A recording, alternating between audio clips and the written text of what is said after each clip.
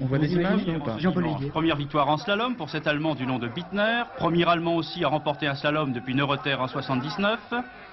Première aussi en Coupe du Monde pour ce bourg d'Interstoder, 1000 habitants aux confins de la Haute-Autriche. Enfin, première pour l'Italie. Tramoton, leader de la Coupe du Monde pour la première fois depuis Toeni, c'est-à-dire depuis plus de 10 ans.